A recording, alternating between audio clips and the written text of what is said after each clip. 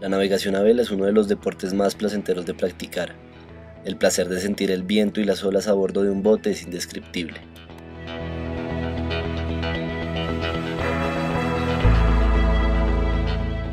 este deporte encontramos diferentes tipos de barcos y tripulaciones, pero todos estos tienen algo en común.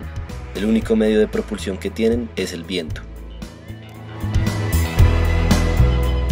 La navegación a vela fue usada para actividades comerciales y para la guerra naval en sus inicios. Hoy en día es usada simplemente para divertirse y está estructurada como un deporte.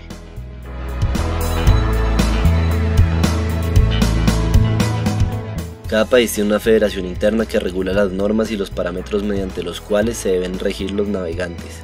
En Colombia, estas funciones las cumple la Federación Colombiana de Vela.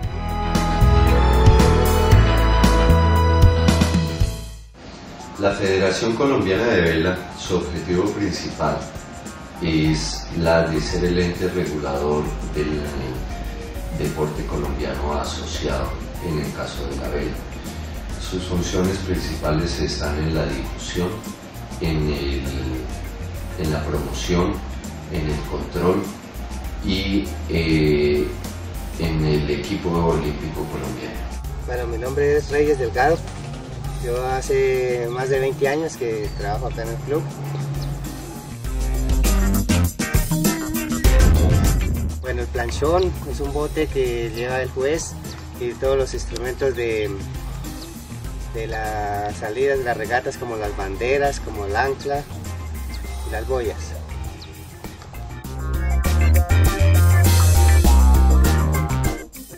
La vela curiosamente ha llegado en Colombia, inicialmente en Bogotá, siendo un país que tiene más de mil kilómetros de extensión y costas. Se inicia la navegación competitiva en Bogotá en el embalse de Muña y después se desplaza a la represa de Tomé por contaminación del mundo.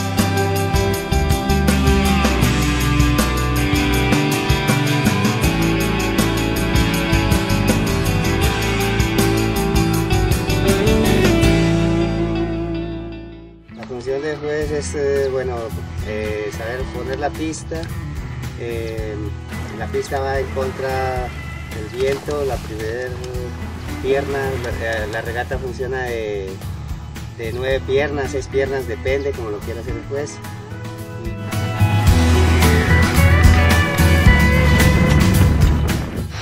Bueno, con los barcos hemos tenido hartas experiencias porque, bueno, nos hemos tenido muchos percances con el viento, con el agua, cuando llueve, se han volteado, Hemos sido rescatistas de varias personas. los tipos de barcos más comunes en Colombia inician, o sea, la navegación a vela inicia en Colombia a través de, de la época hispánica y todo lo demás, o sea, no venimos de tiempo atrás, pero a nivel competitivo. Están divididos en dos categorías uno que son los monoplaza y otro los que son multiplaza. En los monoplaza iniciamos con la categoría Optimus, que es desde que un niño se pueda subir a un barco de edad de 8 años, 9 años, hasta los 15 años como su fecha máxima, y de ahí pasamos a las categorías olímpicas o las categorías mayores. En estas encontramos la clase Laser y la clase Sunfish. La clase Laser es la única de categoría olímpica en, Colombia en este momento y vamos después a la Sunfish, que es este barco que vemos normalmente en las playas colombianas. Vamos después a la categoría de multiplazas. Eh, encontramos el velero Snipe, barco de dos velas, barco de dos personas o de una tripulación compuesta por dos personas seguido después por la clase Lightning, que es un velero de tres velas, tres personas y se corre básicamente en América, parte de Europa.